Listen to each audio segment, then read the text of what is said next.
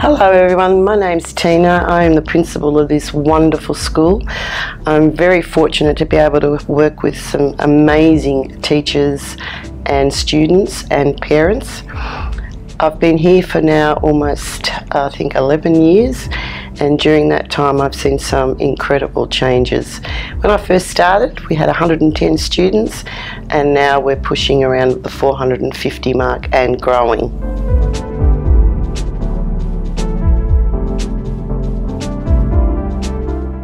I'm fortunate enough to be able to work with a very dedicated um, staff.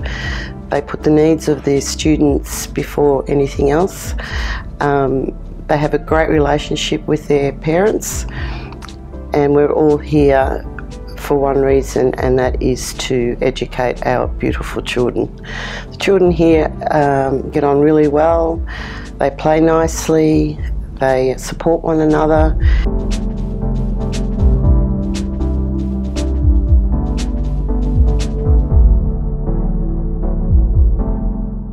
So our community is very multicultural and we welcome family involvement. Uh, we have strong ties to the local community. Uh, we try to utilise um, our luxury of being so close to the Melbourne Museum and the IMAX and also the Carlton Gardens Park, which is just across the road.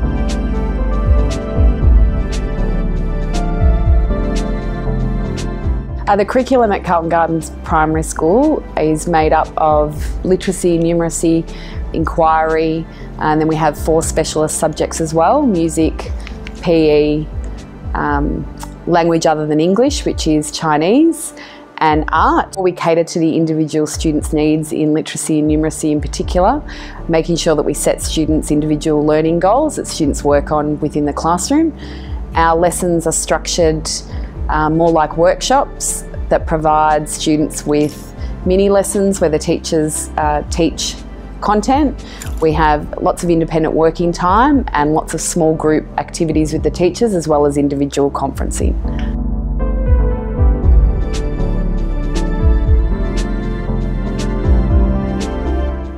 We also have an intervention program here at our school where children are grouped based on their needs, their learning needs. And it's a great idea because we have, uh, it's an all hands on deck approach. So we have um, teachers from other areas uh, coming in to support children to help them reach learning goals. And we also have opportunities for extension. So not only supporting children who need that little bit of extra help, but also pushing children who um, need more support to grow and extend them in learning areas.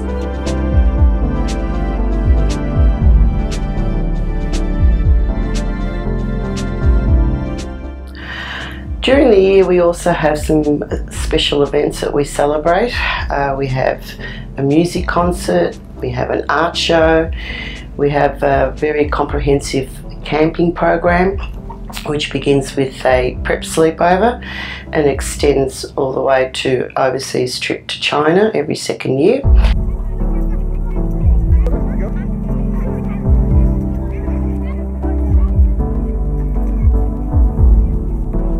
Um, so over in grade 5, 6, uh, we're in a really large flexible learning space uh, here at Drummond Street, which is very, very cool. Um, so we have all grade 5 and grade 6 students together um, with quite a lot of teachers who are able to help differentiate the classroom and um, help the students meet their needs. It's fantastic, it's really cool because it's going to allow the kids to be able to um, complete tasks and work in the way that suits them best. So you could have children who are working in collaborative learning groups, um, some kids who might be choosing to work independently, um, some students might be deciding to complete tasks using some of the latest technology, or other students deciding to work towards completing tasks by you know artworks or speeches or whichever works for them. Um, it's a very cool learning space to be a part of, um, and it is probably one of the highlights here at Carlton Gardens Primary School.